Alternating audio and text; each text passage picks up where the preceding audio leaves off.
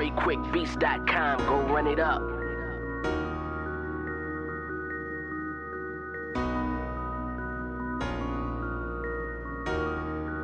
Trey Sway got drip, yeah.